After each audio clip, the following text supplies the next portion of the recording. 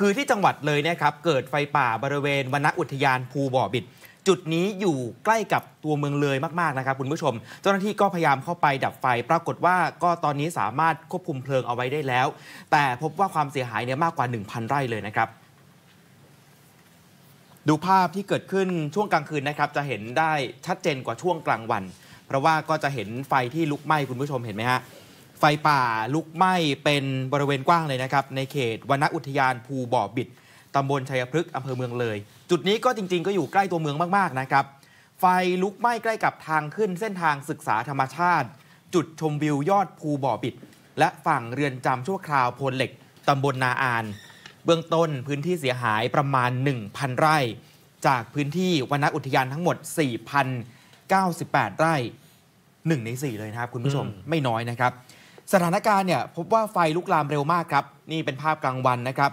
สภาพป่าเป็นป่าไผ่มีไม้เบญจพรรณที่แห้งแล้วก็ติดไฟง่าย บางจุดยังเป็นหน้าผาสูงชัน ก็เป็นอุปสรรคในการเข้าไปดับไฟของทางเจ้าหน้าที่ด้วยครับ เจ้าหน้าที่ระดมกำลังพลทั้งทหารฝ่ายปกครองพลเรือนกว่า 200 นาย 200 คนเข้าไปดับไฟตั้งแต่ช่วงบ่ายเมื่อวานนี้ ควบคุมไฟได้แล้วระดับหนึ่งแต่ปรากฏว่าไฟปะทุขึ้นมาเป็นครั้งที่ 2 ทางอำเภอก็เลยต้องประสานไปยังหน่วยงานที่เกี่ยวข้อง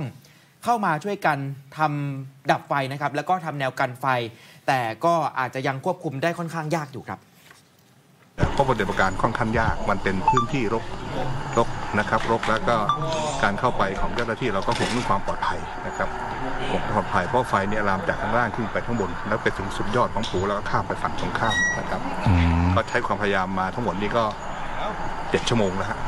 เจ็ดชั่วโมงอะเจ็ดพื้นที่ทั้งหมดประมาณเท่าไหร่ครับตอนนี้ไหม้ไปประมาณประมาณแปดแปดร้อยไร่ครับ แต่ไอ้พื้นที่ของอุทยานทั้งหมดเนี่ยมันก็สี่พันกว่า รวมทั้งพื้นที่ข้างเคียงที่นอกเขตอุทยานเราก็ต้องค่อยดูแลกัน นะครับไม่ว่าทางของตำบลนาอานนะครับทางกำนันทางอ่าอ่าทางกำนันและก็ทีมงานกำนันผู้ใหญ่บ้านของตำบลนาอานก็สกัดทางนู้นไม่ให้ไป อย่างที่เกริ่นไปนะครับว่าหน้าร้อนก็อาจจะทำให้เกิดไฟป่า แต่ไฟป่าเนี่ยเกิดจากธรรมชาติจริง ๆ หรือไม่ เพราะว่าหน่วยงานที่เกี่ยวข้องเขาก็คาดการณ์นะครับว่าเหตุการณ์ที่เกิดขึ้นเนี่ยน่าจะมีชาวบ้านไปลักลอบเผาป่า ทางวนอุทยานภูบ่อบิด ก็เลยจะไปแจ้งความร้องทุกข์ไว้ที่สพเมืองเลยครับ เพื่อหาผู้กระทำผิดมาดำเนินคดี ส่วนทางเจ้าหน้าที่ได้ถอนกำลังออกจากพื้นที่ และจะเข้าไปตรวจสอบต่อเนื่องในเช้าวันนี้นะครับ